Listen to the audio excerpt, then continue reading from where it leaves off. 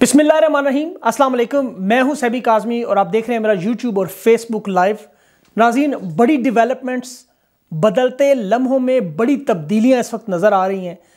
अशरफ गनी, उनके बारे में इस वक्त सबसे ज़्यादा जो है इतलात आ रही हैं और मुतजाद इतलात हैं। मुख्तलिफ़ न्यूज़ के इदारे अपने अपने हिसाब से इतलात दे रहे हैं इस वक्त। बिज़नेस रिकॉर्डर का कहना है कि वो इस वक्त ताजिकिस्तान में है। लेकिन जो रूस का इदारा है स्पुटनिक उनका अफ़गानिस्तान में काफ़ी इंटरेस्ट भी रहा। उनका कहना है कि वो सदारत छोड़ चुके हैं, इस्तीफ़ा दे चुके हैं, और वो ताजिकिस्तान में है। टोलो न्यूज़ का मालिक, जो कि अफ़गानिस्तान की जो खबर इदारा है, एक बड़ी एजेंसी है, और सबसे बढ़कर इसका मालिक अशरफ गनी का ज़ाती दोस्त है। लेकिन वो इस वक्त मुकम्मल तौर पर चुप हैं। शायद वो जानबूझकर उनकी लोकेशन नहीं बता रहे, उसकी वजह क्या है? लेकिन उन्हें तफसील का इल्म है और इस वक्त वो खुद भी सब खौफजदा है कि शायद उनके साथ क्या हो। उसकी वजह मैं आपको बताता हूँ क्यों। सबसे पहले मसला ये है कि इनके भागने की जो असल वजह है और इनकी लोकेशन ना बताने की वजह, मुतजाद इतलात की वजह कि तालिबान ने बिना किसी शर्त के सरेंडर करने का मुतालबा किया था। बाकी सबको आम माफ़ी थी। और ये अशरफ गनी की तरफ़ से जो मुजाकर करने वाली सदारती टीम थी, उन्हें ख़तरा था कि अगर अशरफ गनी के साथ कुछ भी हो सकता है और उनके साथियों के साथ भी। उनके मैं आपको नाम बताता हूँ कौन से। इसीलिए इन लोगों का भागना ज़रूरी है। अमरुल्ला सालेह अभी ट्वीट कर रहे हैं कि मैं मौजूद हूँ। बारह देखना भी ये है कि वो बड़ी ताकतें जो एक अरसे से कह रही थी कि अगर ऐसा होगा तो हम ऐसा करेंगे, जैसे रूस है, अमेरिका है, चीन है, ईरान है, इन सब लोगों ने बड़े दावे किए थे। अब देखना यह है कि क्या वो वाकई ऐसा करेंगे, अपने डिलीवर करेंगे वादे या नहीं। अमेरिका में ब्लेम गेम शुरू हो चुकी है। जो बाइडन इल्ज़ाम ट्रंप पर लगा दिया और ट्रंप ने बाइडन पर लगा दिया। अब मसला बिल्कुल इसी तरह है कि अमेरिका भागा बिल्कुल वियतनाम की तरह। इन्होंने तारीख से कोई सबक नहीं सीखा। आप ये तस्वीर अगर देखें तो इसमें बिल्कुल सेम एक्शन है। इवन के भागने वाले जो उनके बड़े हेलीकॉप्टर हैं, वो भी एक जैसे हैं। तो लगता है ऐसे कि तारीख एक मरतबा फिर अपने आप को दोहरा रही थी। शायद अगली दफ़ा ये कहीं हमला करने से पहले कुछ सोचें। पाकिस्तान के मुखालफी भी अफ़गानिस्तान में छुपे हुए थे। बहुत से लोग एक बड़े अरसे से अफ़गान हुकूमत के साथ थे। अब वो भी भाग रहे हैं। सबसे बढ़कर उनमें ताजदीन अचकजई जो कि बी एल ए का हैंडलर है, बलूचिस्तान में आपको पता शोरश बर्पा करने वाली। वो इस वक्त भागा है और वो भागा है हिंदुस्तान की तरफ़। दूसरे मानों में पहुँची वहीं पे खाक, जहाँ का था खमीर। मोहसिन दावड़, अली वज़ीर, मंजूर पश्तीन, ये वो लोग जो सरकारी हेलीकॉप्टर में अफ़गानिस्तान जाया करते थे। अब ये कहाँ जाएँगे? इनका मुस्तकबिल भी काफ़ी तारीख लग रहा है। उसी तरह जिस तरह अफ़गानिस्तान के बहुत से लोग ट्विटर पर बहुत अरसा तक ये मुजाहिद बने रहे। एयर इंडिया की दो फ्लाइट्स 129 मुसाफरों को, एक मुसाफरों को लेकर उड़ रही हैं। उनका फ़्लाइट डाटा मिल गया, लेकिन मसला ये है कि अब उनकी सिक्योरिटी के पेश नज़र मैंने सोचा कि इसको पब्लिश ना किया जाए तो बेहतर है। वरना इल्ज़ाम लग जाएगा जी कि शे इसमें वही लोग हैं। कि जो आपको पता है, एक अरसे से ये कहते रहे कि जी, हमारी पाँच हज़ार साल पुरानी तारीख है और उन्नीस सौ इकहत्तर की जंग के आपको पता है, तस्वीर शेयर करते थे, ताने देते रहते थे। अब वो सब भाग रहे हैं। लेकिन हमें अपने ज़र्फ़ का मुजाहरा करना है। हमें भी उनकी जानो माल की अहमियत समझते हुए इसे रहने दें। लेकिन एक बात तो पक्की है कि अब इनका चकला वाकई बंद हो चुका है और अभी अपनी दलाली जो है, वो कहीं और जाके करेंगे। ये वो लोग हैं जो पाकिस्तान को ऐसे अल्फाज कहते थे। और अमरुल्ला साले ख़ास तौर पर आपको पता है, ये पाकिस्तान के खिलाफ बहुत ज़्यादा ट्वीट्स करते थे। हर वक्त, हर ट्वीट में पाकिस्तान के मुखालिफ। और ये कहते थे कि हम, मैं किसी कीमत पर तालिबान को नहीं मानूँगा, लेकिन फ़िलहाल ये भी गायब है, क्योंकि इनका नाम भी तालिबान ने दिया है कि बिना शर्त के ये भी सरेंडर करें। सबसे ज़्यादा इस वक्त पाक फ़ौज की दुनिया में कदर हो रही है, वरना जिस तरह तेज़ी से सूबे फतह हुए, इस तरह तो वीडियो गेम्स में भी नहीं होता। और वो जो कहते थे कि जी, मर जाएँगे, भागेंगे नहीं अब बारी बारी ऐसे भाग रहे हैं क्या आपको नज़र आ रहा है कि ताजिकिस्तान, ईरान, सऊदिया और हिंदुस्तान जैसे गधे के सर से सींग गायब होते हैं। लेकिन शुक्र है अल्लाह पाक का कि पाकिस्तान की फ़ौज मज़बूत है, वरना ये काम कहीं भी हो सकता है। आप देखें कि आधा इराक, शाम, लिबिया, ये कुछ दिनों में कब्ज़े में हो गए थे, कुछ दिनों में। और अब यही काम आपको अफ़गानिस्तान में नज़र आया, आपके सामने एक ज़िंदा मिसाल है। तो फ़ौज पर भूखने वाले ज़रा एक बार देख लिया करें। जब अमेरिका अफ़गानिस्तान में आया था तो किसी इस्लामी मुल्क ने तालिबान के हक में बयान नहीं दिया था। लेकिन एक शख्स ऐसा था जो उस वक्त भी ये कहता था कि तालिबान के साथ और ये शोरश, ये लड़ाई झगड़ा मत करें। तो लोगों ने उसे तालिबान खान का नाम दे दिया। आज 20 साल के बाद तारीख साबित कर रही है कि वो ठीक कहता था और वो शख्स है पाकिस्तान का वजी अजम इमरान खान। तमाम प्रडिक्शन उनकी, मेरी ट्वीट लगी हुई है। उसके मुताबिक बिल्कुल वही साबित हुई। और बहुत सी इमरान खान की ऐसी बातें लोगों को मेरे ख्याल में वक्त गुजरने के बाद समझ आती हैं, लेकिन ये पिक्चर वो बता चुके थे पहले ही।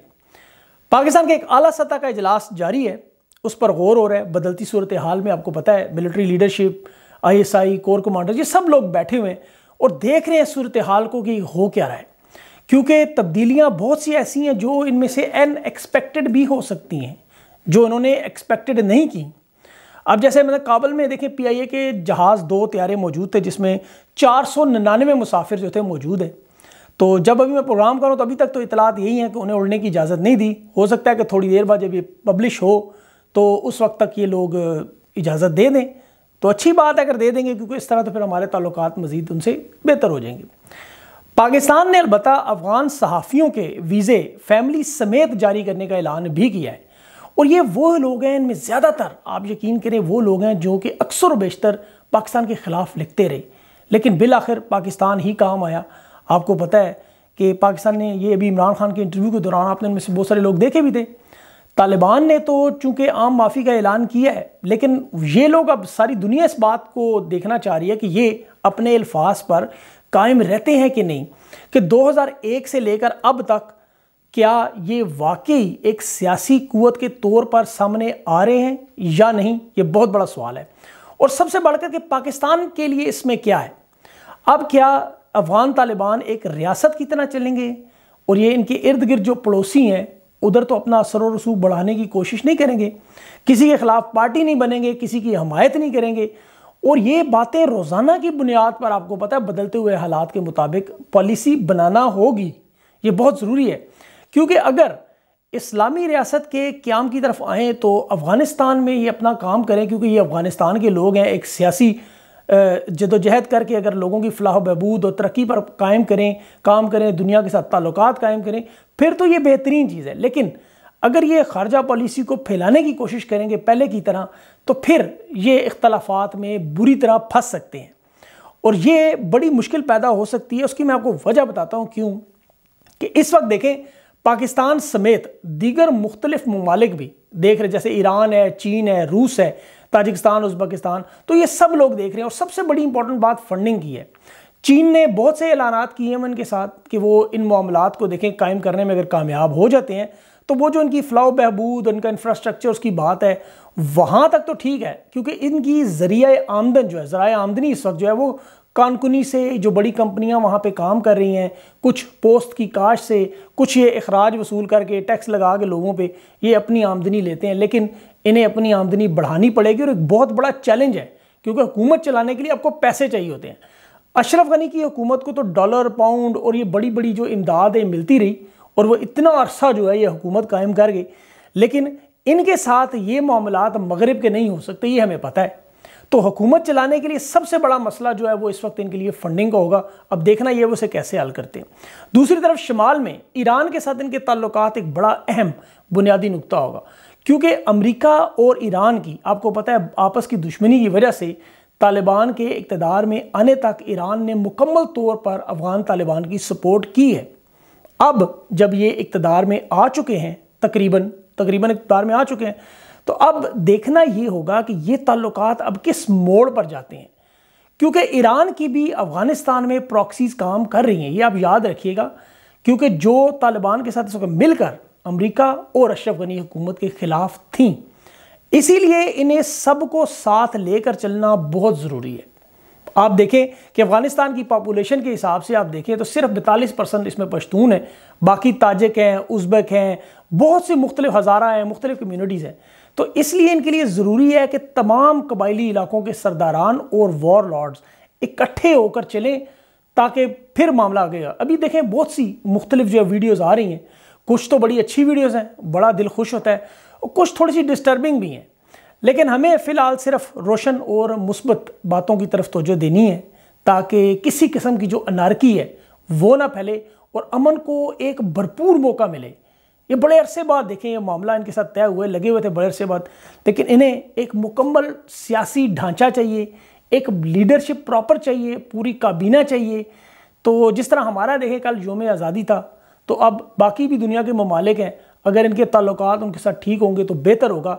लेकिन अगर किसी ने इन्हें इस्तेमाल करने की कोशिश की, किसी पड़ोसी मुल्क ने तो उसके नतज जो है वो बहुत मतलब गलत निकल सकते हैं, बहुत भयानक हो सकते हैं। और ख़ास तौर पर आप ये देखें कि जैसे अशरफ गनी के ताजिकिस्तान जाने से ये ज़ाहिर हो रहा है कि अगर उन्हें वहाँ पर पनाह मिलती है तो तालिबान के इनसे ताल्लुक ठीक नहीं रहेंगे। क्योंकि अशरफ गनी के साथ इनकी नहीं बनती। इनकी रेजिग्नेशन की इस्तीफ़े की सबसे पहली बात थी। और फिर जो तालिबान के अंदर कोई क्रिमिनल एलिमेंट अगर इकट्ठे होते हैं, किसी किस्म के ग्रोह आते हैं, जैसे आपको पता है पाकिस्तानी तालिबान हो गए, या खरासान तहरीक होगी अलकायदा हो गई दाइश होगी इस तरह की तंजीमों को इन्हें अपने नज़दीक नहीं आने देना। मुकम्मल सियासी एतबार से चलाना होगा काम तो फिर तो इनका जो मामला है वो बड़ा लंबा अरसा चल सकता है। वरना ये काम भी आपको पता है दो हज़ार एक की तरह मसाइल की तरफ़ जाएगा। बीस साल एक बड़ा लंबा अरसा है। अफ़गानिस्तान की हुकूमत, चाहे जिस तरह की भी थी, उन्होंने अवाम के लिए कुछ नहीं किया। आप देखें, जितना पैसा अफ़गानिस्तान में आया, अगर उस पैसे का पाँच, दस, पंद्रह फ़ीसद भी अवाम पर लग जाता, तालीम पर, सेहत पर, रोज़गार पर लोगों को लगा देते तो ये जो इनके जो विलेज हैं, गाँव हैं छोटे मोटे कस्बे हैं, शहर हैं, वहाँ पर रहने वालों की जो ज़िंदगी अगर बेहतर हो जाती, तब्दील हो जाती तो इनकी जो फ़ौज के साथ अवाम भी खड़ी हो जाती। और ये बड़ा ज़रूरी है। देखिए ये बहुत ज़रूरी है कि अवाम और फौज एक पेज पर हों, वरना जितनी तेज़ी से इन्हें ये कामयाबियाँ मिली हैं आप खुद देख लें, आपके सामने सब कुछ अनफोल्ड हो रहा है। अवाम ने रियाती इदारों का बिल्कुल साथ नहीं दिया। फौजी गाड़ियों को पत्थर मार रहे हैं, उनको मतलब रास्ता दे रहे हैं, इनको गले लगा रहे हैं। तो ये एक बहुत बड़ा सबक हमें मिलता है कि चाहे आपकी रियासत जितनी मज़बूत हो, उसका दिफा अवाम की शमूलियत के बगैर नामुमकिन है। इसलिए अवाम को आपको साथ रखना लाजमी है। और यहाँ से पाकिस्तान के लिए, पाकिस्तान की अवाम के लिए, हमारे सहाफ़ियों के लिए, जितने भी लोग इस प्रोग्राम को भी देख रहे हैं, हम सब के लिए एक बहुत बड़ी लर्निंग कर्व एक बहुत बड़ा सबक है कि हमें अपनी फ़ौज के पीछे खड़ा होना है। वरना मेडल आप जितने मर्ज़ी लगा लें, हफ़्ता भी अगर आप एक ना टिकें तो फ़ायदा कोई नहीं, इतनी बड़ी फ़ौज को पालने का। इससे बेहतर आप कुछ दो बकरे पाल लेते तो ज़्यादा काम चलते। आने वाले दिनों में मजीद जो अपडेट्स होंगी, ज़ाहिर हो रही हैं, लम्हा व लम्हा हो रही हैं शाला आपको उससे अपडेट करते रहेंगे। चैनल को सब्सक्राइब, वीडियो को लाइक और शेयर ज़रूर करें। अगली वीडियो तक मुझे इजाज़त दें और अपना खास ख्याल रखें। अल्लाह हाफिज़।